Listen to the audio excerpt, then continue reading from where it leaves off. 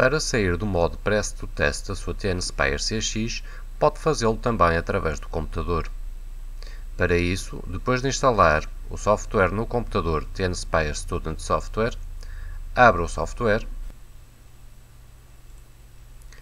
crie um novo documento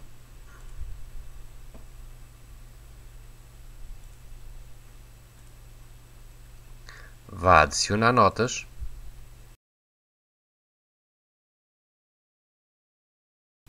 e guarde este novo documento com o nome Exit Test Mode.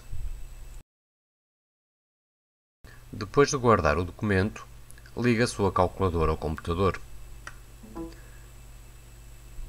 Depois de identificar a máquina no computador, dê dois cliques para explorar o conteúdo.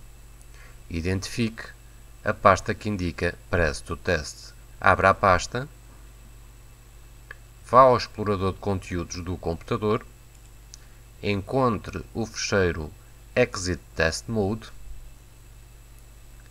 e arraste o conteúdo para dentro da pasta da máquina que indica Press to Test.